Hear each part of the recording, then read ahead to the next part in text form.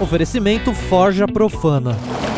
E aí pessoal, tudo bem? Aqui é o Atila Kawauchi e hoje vou mostrar como eu pintei o Necromante da Forja Profana. Essa miniatura foi esculpida pelo Boris, né? E se você tem interesse nela, o link vai estar aí embaixo na descrição. Antes de começar o tutorial, eu queria falar pra vocês que eu criei o padrinho do Pintando Miniaturas. Então se você quiser dar um suporte pro canal, você curte o trabalho que eu tô fazendo aqui e tem condições de ajudar, dá uma olhada lá em padrim.com.br barra pintando miniaturas, que lá você vai ter recompensas recompensas que você pode escolher para ajudar o canal na quantia que você puder. A lista de materiais que eu usei vai estar aparecendo aí embaixo na descrição. Então, bora ver como ficou mais esse tutorial!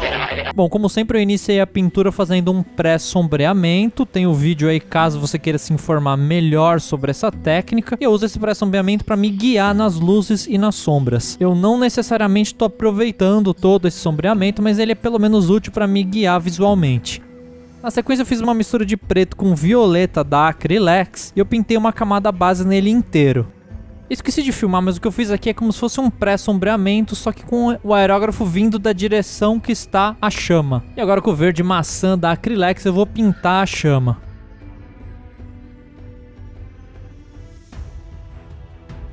Esse vídeo vai ser bem focado em OSL, que para quem não sabe significa Object Source Light, que é quando um objeto está emitindo a luz e a luz está refletindo na miniatura.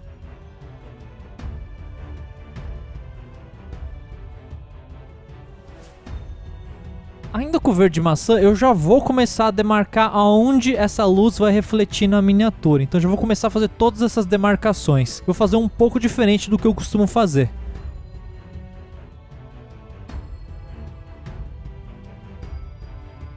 Nesse momento você não precisa se preocupar em fazer o negócio todo certinho, é só você fazer uma demarcação geral. Para você dar uma olhada na miniatura, você vai olhar e ver se está ficando tudo certo, tudo mais ou menos do jeito que você quer. E depois você vai se refinando e arrumando aos poucos.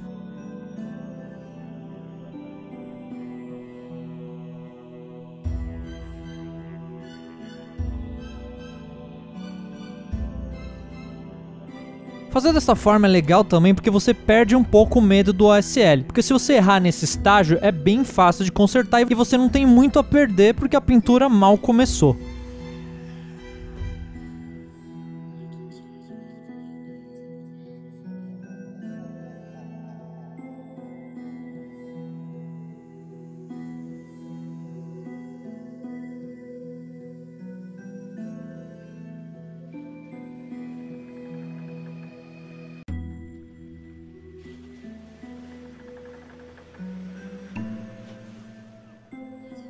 Essa aqui é a parte crucial do vídeo, porque é onde eu tô fazendo as demarcações de onde vai ser o SL. Com isso aqui é só ir refinando.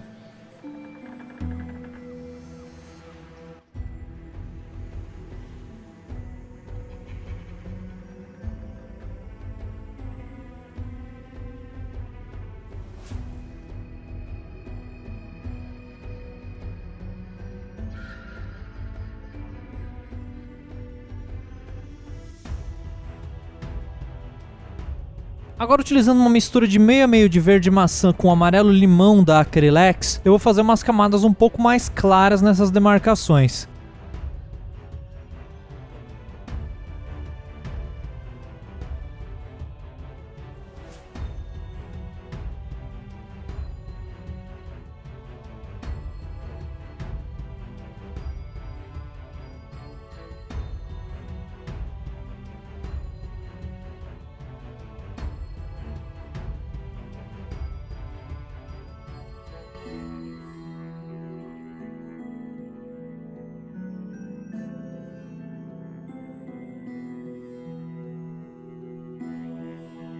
Bom, então agora utilizando o azul marinho da Silver Bright, eu vou começar a pintar a roupa dele da cor que eu quero que seja.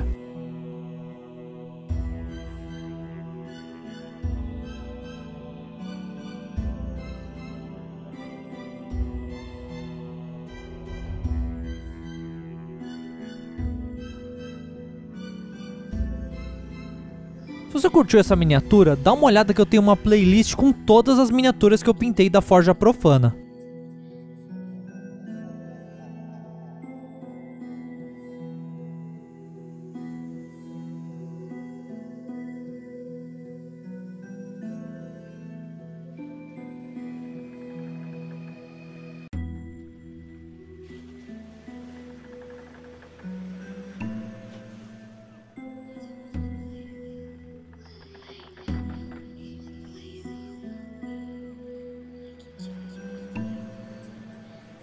Aqui eu fiz uma mistura de meio a meio de azul cerúleo da cor Fix com azul petróleo da Silver Bright. Aqui eu já estou adicionando um pouco mais de azul cerúleo na mistura.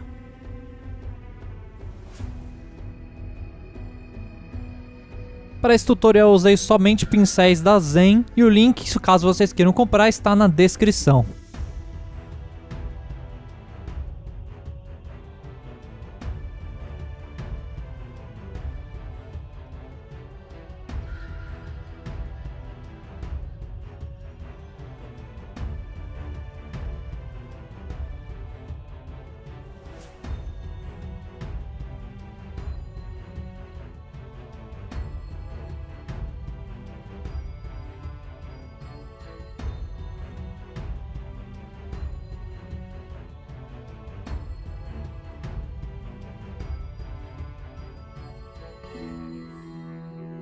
Nesse momento eu tô alternando entre azul cerúleo puro ou eu misturo com um pouco de azul petróleo, dependendo da parte que eu tô pintando.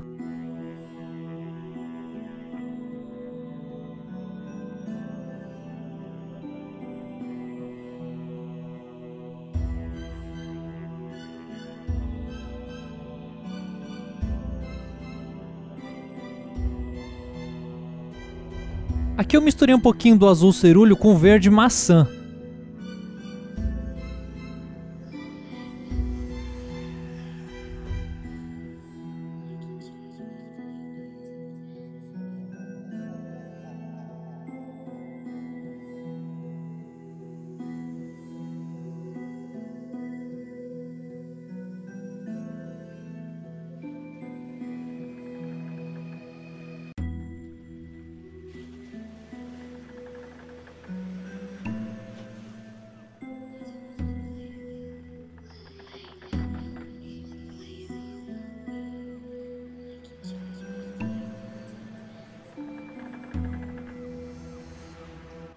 Agora eu fiz uma mistura de azul cerúleo com branco, mais ou menos meio a meio.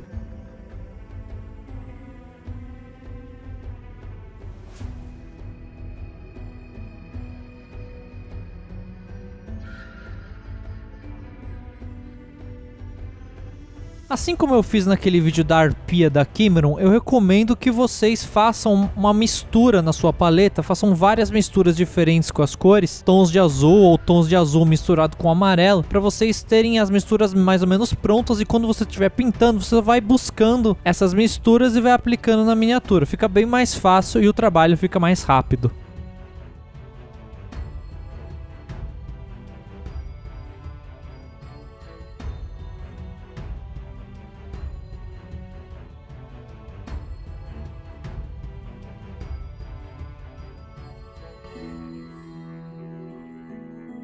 Agora com o amarelo limão da Acrylex vou pintar as chamas do cajado.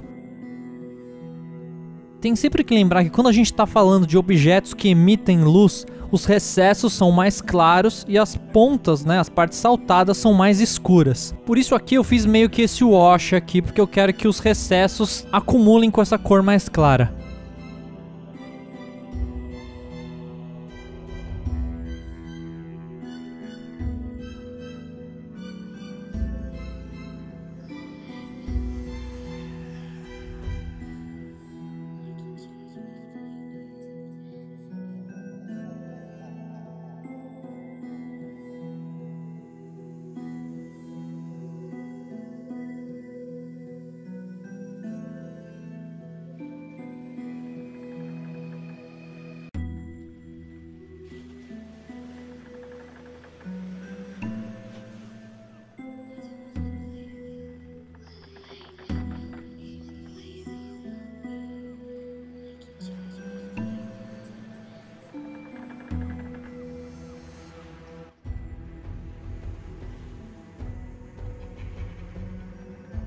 Eu usei um pouquinho de branco para reforçar alguns recessos e agora eu tô com uma mistura de amarelo limão com branco para pintar algumas partes um pouco mais saltadas.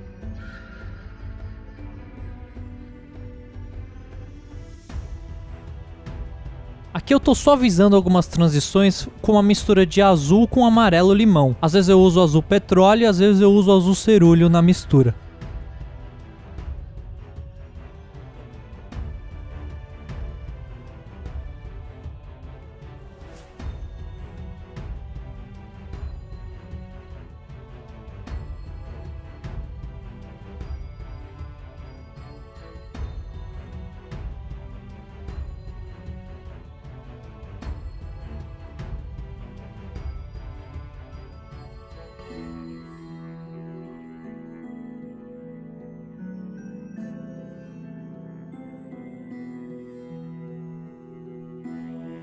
Eu usei um pouquinho de amarelo limão com branco para demarcar algumas highlights na cara dele. Não apareceu porque eu filmei fora de foco, mas eu tô continuando a partir do momento que eu percebi.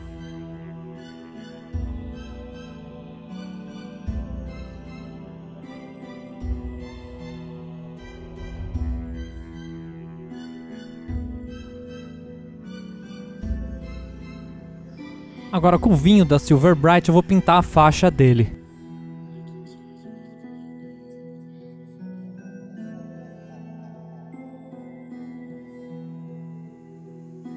Com o vermelho Lumen da Silver Bright eu vou pintar umas camadas mais claras. Agora com o azul petróleo da Silver Bright eu estou definindo alguns recessos na roupa dele.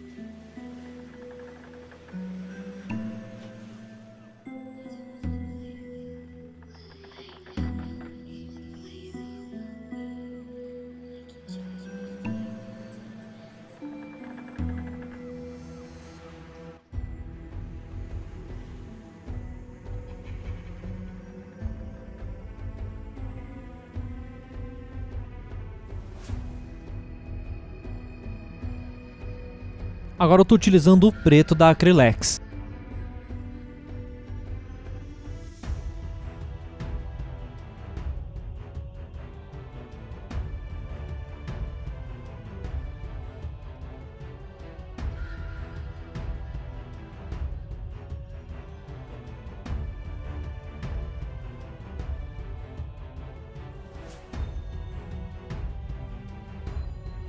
Aqui eu utilizei o verde maçã da Acrylex para pintar as partes mais saltadas do poder que ele tá na mão, nessa chama que ele tá na mão. Só que eu acho que a cor que fica melhor é o verde flu da Valerro. Eu não usei aqui no vídeo, eu acabei usando o da Acrylex mesmo, só que depois eu repintei essa parte com esse verde flu e eu achei que ficou bem melhor. Uma alternativa a esse verde flu é aquele verde neon da Acrylex, também dá para usar.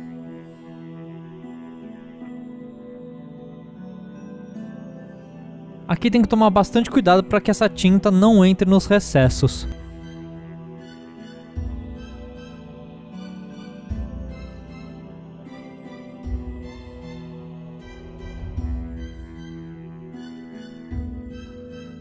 Aqui no rosto dele eu joguei um pouquinho de vermelho misturado com branco e um pouquinho de azul misturado com um pouco de branco e um pouco de preto.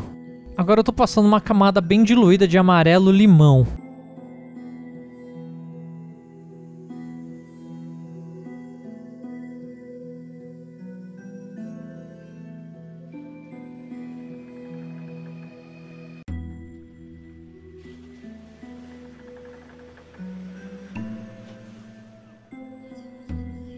Repara que eu estou tentando puxar as partes mais claras mais para cima da capa.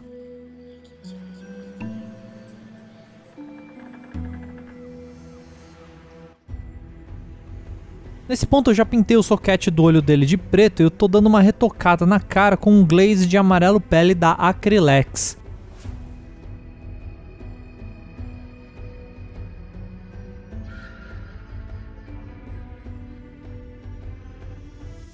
Agora com uma mistura de amarelo pele e cinza da Silver Bright, eu tô dando uns retoques na barba dele. Tô pintando umas camadas um pouco mais claras e tentando suavizar algumas transições.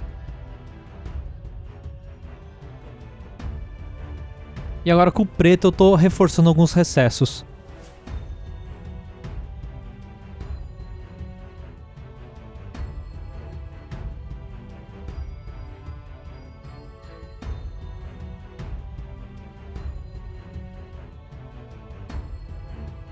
No olho eu tive bastante dificuldade para fazer porque parece que um tá aberto e o outro tá fechado. Olhando de frente dá pra ver que os buracos eles não são do mesmo tamanho. Então eu fiz aqui como fosse fechado, mas depois eu fiquei tentando repintar várias vezes para deixar ele um pouco aberto. E esse foi meu resultado final. Bom, acho que no final das contas a parte mais difícil acabou sendo o olho mesmo, mas eu acho que a ideia é que um olho tá mais fechado do que o outro mesmo, como se ele tivesse meio que mirando a magia, fazendo, sabe, uma coisa nesse sentido. E eu acabei tentando pintar a pupila nesse olho meio fechado e foi bem tenso de pintar. Eu acabei deixando com a pupila aparecendo mesmo, mas dá pra ver que o buraco de um é menor do que o outro. Se você olhar essa miniatura de frente ao vivo, você vai conseguir perceber isso. O OSL pintado dessa forma, como eu falei, eu achei que foi mais mais fácil, né? E dá mais liberdade, parece, quando você tá fazendo isso, porque você não tem aquele medo de, de se a luz vai ficar zoada ou não, porque você já fez um teste, meio que a demarcação, antes de você começar a refinar a sua pintura. Então eu achei que fazendo desse jeito dá mais segurança. Mas enfim, no geral, gostei bastante de pintar essa miniatura, viu? Fazer esse OSL dessa forma foi bem legal, eu curti bastante, né? Principalmente porque o, o objeto que está emitindo a luz é bem grande, então deu pra fazer bem mais puxado do que o normal. Eu queria fazer um agradecimento a todas as pessoas que me apoiaram no Padrim e um agradecimento especial para os padrinhos que pegaram as recompensas de pintor amador e pintor sério. O nome dele está aparecendo aí agora. Com isso, eu vou ficando por aqui. Abração e até mais!